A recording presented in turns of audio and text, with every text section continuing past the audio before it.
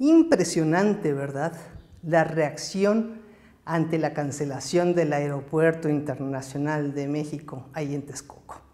Era de esperarse. Pero lo que más me llama a mí la atención es la bravura con la que han salido los empresarios. Y desde luego, pues ya advirtieron de denuncias legales, amparos, y vaya usted a saber qué más cosas. Pero por lo pronto, la parte judicial, tengan por seguro, va a terminar en la Suprema Corte de Justicia de la Nación. Pero no será el único caso, y por eso quiero hacer hincapié en esto, porque la cuarta transformación apenas inicia, y López Obrador quiere hacer cambios bien, bien profundos que tenemos en puerta, él mismo lo ha anunciado. La reforma educativa, que piensa derogarla por completo, echar para atrás la reforma energética, está el tema de los superdelegados, que seguramente los gobernadores van a llevar también al máximo Tribunal de Justicia de la Nación. Todos estos temas, así como mínimo, van a terminar, les insisto, en el máximo Tribunal de Justicia de la Nación, ya sea pues por amparos, por controversias constitucionales por lo que ustedes quieran y manden. Pero ahí van a terminar. Entonces, es muy importante las próximas sucesiones que vienen en este tribunal. Y las tenemos en puerta.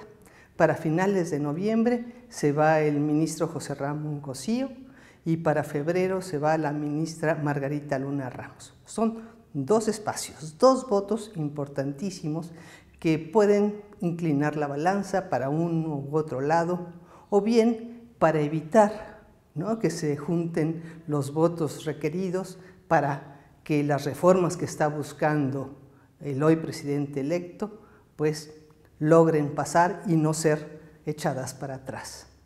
Bueno, entonces, ¿qué hay que hacer? Pues fijarse mucho en cómo viene esa sucesión. Hay una gran ventaja para Morena. De 1994 para acá, el PRI y el PAN se pasaban la votación una vez a uno, la siguiente al otro. Había un acuerdo y así estuvo funcionando. ¿Qué pasó después? Bueno, el PRD ni siquiera contó.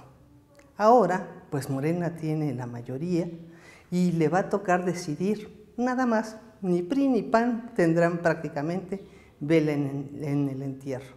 Pero entonces, ¿quiénes van a mover ahora sí que los hilos en la corte hay dos personajes que no hay que perder de vista. Julio Scherer, que va a ser el consejero jurídico de Andrés Manuel López Obrador, presidente de la República, y pues Olga Sánchez Cordero, que ya fue ministra de la Corte y será la secretaria de Gobernación. Ellos serán los principales personajes que midan fuerzas para ver cómo viene esa sucesión en la Corte y quiénes van a ocupar los espacios tan importantes para lo que se ve Pero no son los únicos, ¿eh? les aseguro, porque tenemos a personajes como Ricardo Monreal, líder de Morena en el Senado, que de la Corte sabe. Tenemos a Marcelo Ebrard, que aunque esté del lado de la Cancillería, que también sabe porque ha tenido controversias como cuando fue jefe de gobierno de la Ciudad de México. Entonces, ahí vamos a ver, medir fuerzas, pues a quienes, a los suspirantes de Morena. Comienza también la carrera presidencial.